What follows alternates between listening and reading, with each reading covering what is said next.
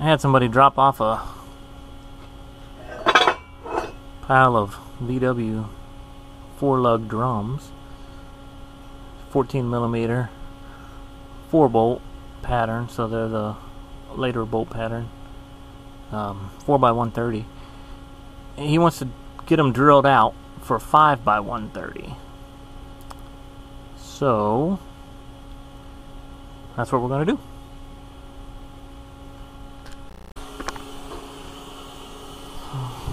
just in case you don't already know the 5 by 130 bolt pattern won't fit in between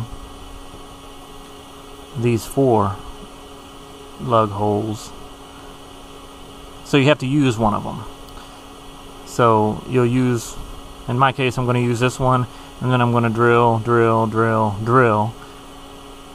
And when you mount it, these three won't have anything in them, but this one and the four that you add will have uh, lugs in them to hold the wheels on. To do that, I made myself a little fixture plate here.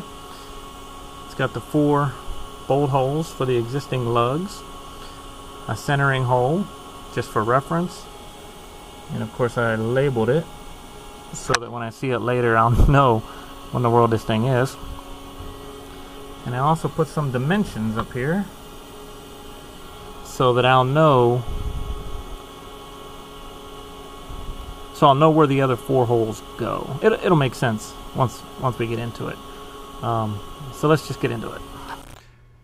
So here it is fastened down with some uh, countersunk screws to help center it in each of those four holes. And I'm just using a four flute roughing carbide end mill here. Spiral drilling down through the through the material. Just getting a rough hole.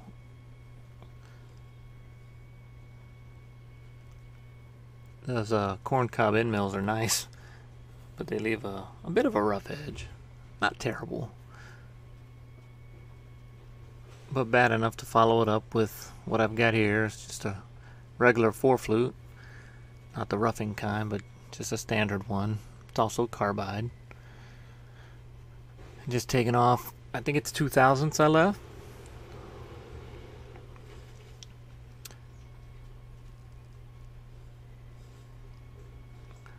So we input one of the coordinates from the plate so that the machine will know where to go.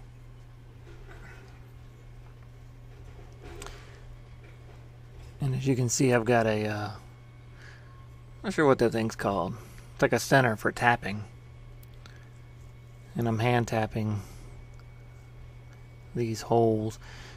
It'd be nice to be able to use a tapping head but I don't have one for this machine yet. The Quick Switch 200 tooling must be made out of gold or something because everybody acts like it is when they're selling it. But anyway, it actually wasn't that bad doing the hand tapping, except that I had eight of them to do. But even though, even with that, it wasn't bad.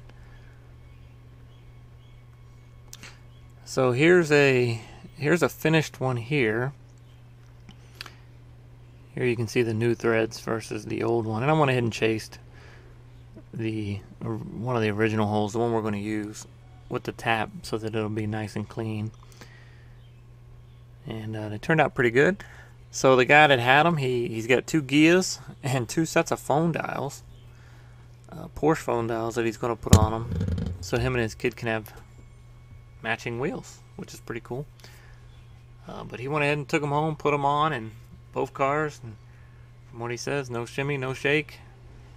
Seems like everything's fine.